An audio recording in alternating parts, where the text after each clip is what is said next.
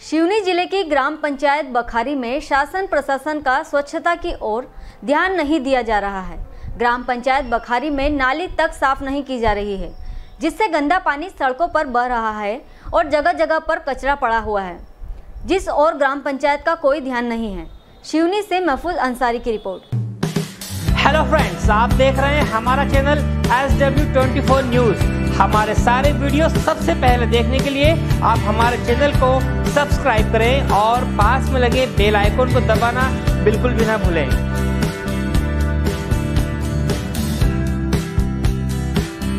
खरगोन ज़िले के